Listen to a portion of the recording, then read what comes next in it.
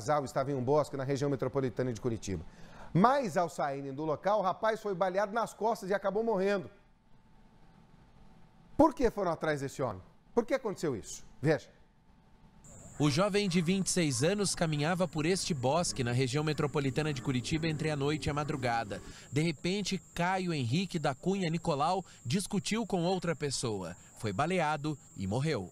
Caio Henrique estava com a namorada. Ela foi poupada pelo assassino. Testemunhas garantiram à guarda municipal que o autor, com a arma na mão, fugiu correndo e pelo meio do bosque. Ele usava uma bermuda e também um moletom preto com capuz.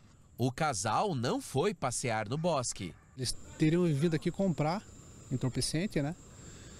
E após a compra, ele, o rapaz teria se virado saiu, esse próprio rapaz perguntou para eles se teria droga para vender ou não.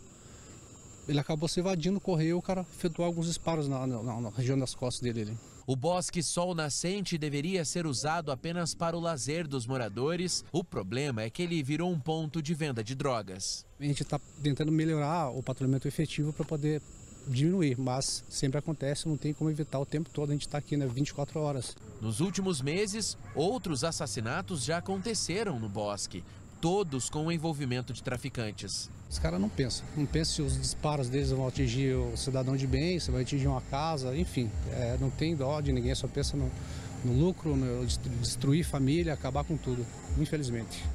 Boca de fumo é assim, né? A lei da boca de fumo é essa, fez o que os traficantes não querem, o bicho vai pegar de verdade. E é isso, a polícia vira as costas, para eles vira terreno livre. A polícia volta, eles voltam a desocupar. Mas não tem como ficar presente num lugar 24 horas do dia. Não tem.